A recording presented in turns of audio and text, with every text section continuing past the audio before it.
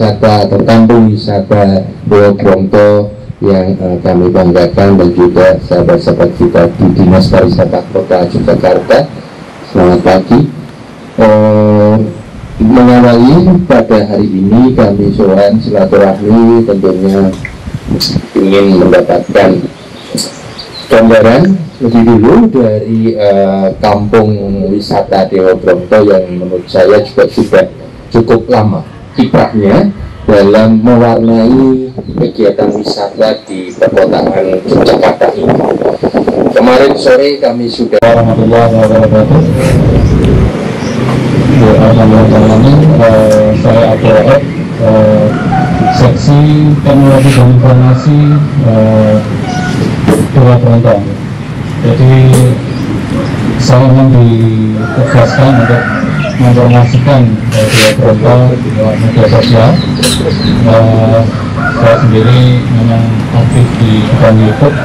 Jadi ada channel saya sendiri Abdul yang biasa yang saya buat kemudian ada tim dari Jaga Kamera yang biasanya memang juru syuting ya ada channelnya juga Jaga Kamera.com dan untuk yang Bronto juga ada channel uh, kampung wisata Dua Bronto ya, sudah ada puluhan video di sana. Uh, di channel Jaga Kamera.com uh, sudah ada puluhan video tentang kampung wisata Dua Bronto uh, yang insya Allah uh, sudah uh, banyak viewernya ya viewernya uh, terhadap uh, lokasi uh, Dua Bronto sendiri adalah Maps ya. jadi kita mengoptimasi Google dengan nama uh, kampung wisata Dua Bronto bisa dilihat di map sendiri kalau kampung wisata Dua Bronto uh, lokasinya ada sekitar sini tentunya di sana Juara dulu di sana tapi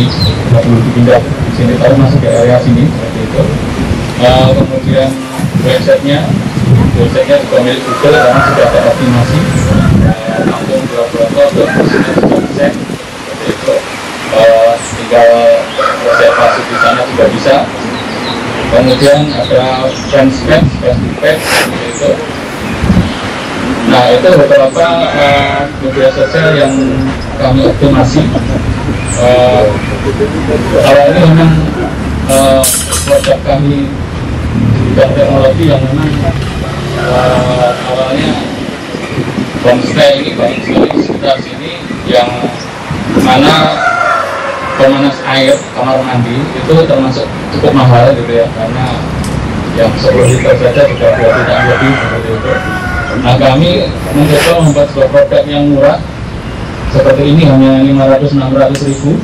Dengan berbagai varian varian watt ya dari dari 500 watt, 900 watt, 1400 dan 2000 watt harga dari 400 ribu sampai 650 ribu sudah bisa dipakai untuk memanaskan kamar mandi ini sudah sudah diproduksi dan sudah banyak peminatnya seperti itu memberdayakan di uh, kampung memang produksi di sini juga saya sendiri yang uh, merangkak saya seperti itu dengan beberapa karyawan nah itu uh, mungkin uh, beberapa pemaparan kami untuk di bidang uh, teknologi informasi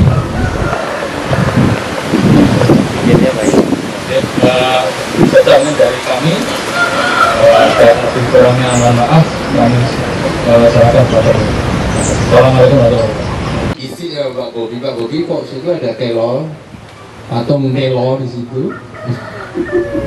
Oh ternyata ada ada relasinya dengan asal telo ya Bapak. Nah ini tentu eh, menarik juga untuk kemudian diinformasikan.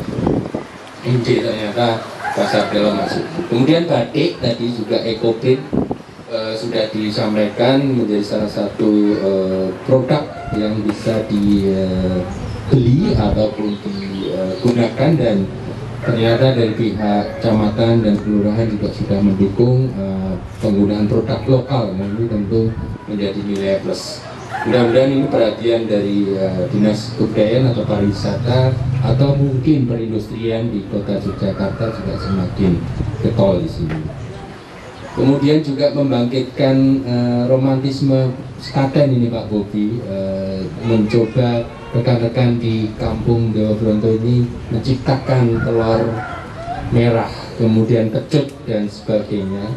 Uh, yang dulu ketika kita kecil mungkin uh, sudah sering ke alun-alun atau kalau di kami di Pakualaman, Bapak saya tinggal di Pakualaman jadi sangat familiar dengan Suandanan gitu uh, dengan uh, Puro Pakualaman di situ kita juga yang kurang sate sapi masih yang itu sate yang uh, bule mulak-mulak itu yang luar biasa. Nah uh, ada Mas Fida dari General Manager Hotel. Ya saya kira ini juga penting untuk di komunikasikan. Ini mas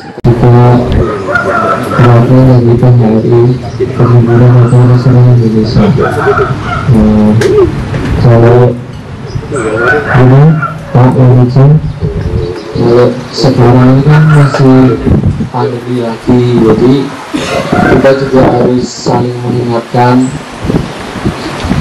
Kita harus ada ini poster-poster uh, atau rambu-rambu atau ajakan untuk bervaksin gitu-gitu. Ini mohon maaf ini belum kelihatan seperti itu jadi mungkin perlu ditambahin. Dan ini ada sedikit ini apa apa namanya? Teman dari Dinas Pariwisata Kota Yogyakarta ini kami bawa juga tim TIC jadi nanti biar dipublikasikan. Oh, iya. iya. Uh, Bapak Ibu semuanya terima kasih.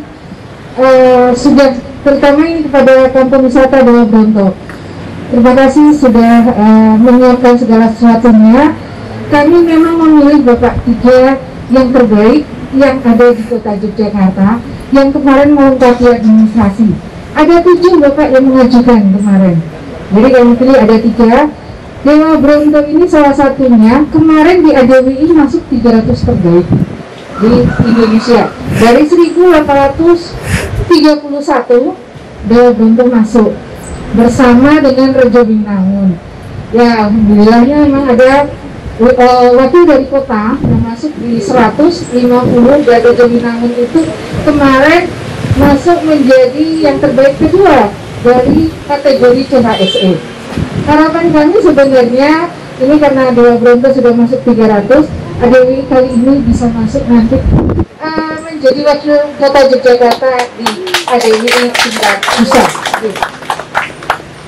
Beberapa mungkin catatan kepada Dewa Bronto. Mungkin pertama saya nyebut uh, ini prestasinya dulu.